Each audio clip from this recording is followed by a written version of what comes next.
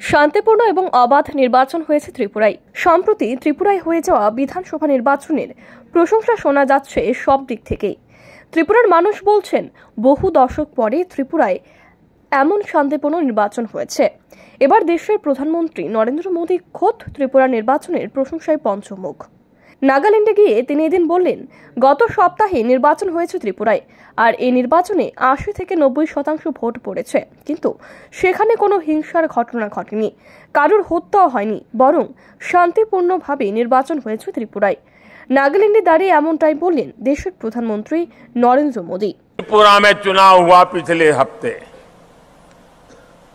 80-90 percent तक voting हुआ और कई दशकों के बाद, त्रिपुरा में भाजपा सरकार बनने के बाद, पूरे चुनाव में मतदान हो गया। कहीं पर भी हिंसा की कोई घटना नहीं घटी, किसी की हत्या नहीं हुई।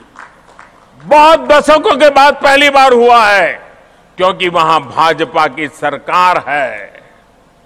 शांतिपूर्ण पूरे नॉर्थ ईस्ट में चुनाव जब भी मौका आता है आज वो वातावरण बना है बीजेपी एनडीपीपी के हर उम्मीदवार को आप भारी मतों से जिताएं বিগত দিনে পিছিয়ে পড়া রাজ্যগুলোর তালিকায় ত্রিপুরার নাম থাকলেও বর্তমানে সব বাধা পেরিয়ে উন্নতির শীর্ষে উঠে এসেছে ত্রিপুরা নির্বাচনে হোক বা ত্রিপুরার ঐতিহ্যগত রিসার তৈরি পাগড়ি বা সংস্কৃতি। বারবার ত্রিপুরার প্রশংসা শোনা গেছে প্রধানমন্ত্রী মোদীর মুখে।